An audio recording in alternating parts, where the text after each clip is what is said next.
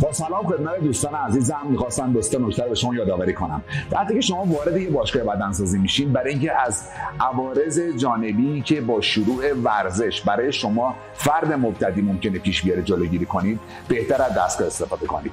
دستگاه از آسیب های احتمالی ابتدایی جلوگیری می‌کنه. پس با باشید با استفاده از دستگاه.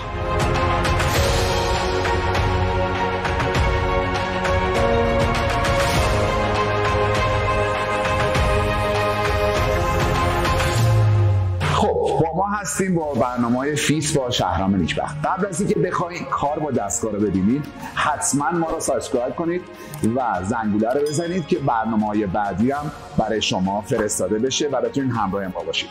اولین دستگاهی که به شما داریم کارش رو یاد میدیم عضلات پشت شما رو درگیر می‌کنه. دستگاه T که در واقع T-bar هم نامیده میشه که کل عضلات بک شما درگیره. حتما ارتفاع صندلی رو و جلوی سینهتون رو تنظیم کنید با قدتون و طول دستتون.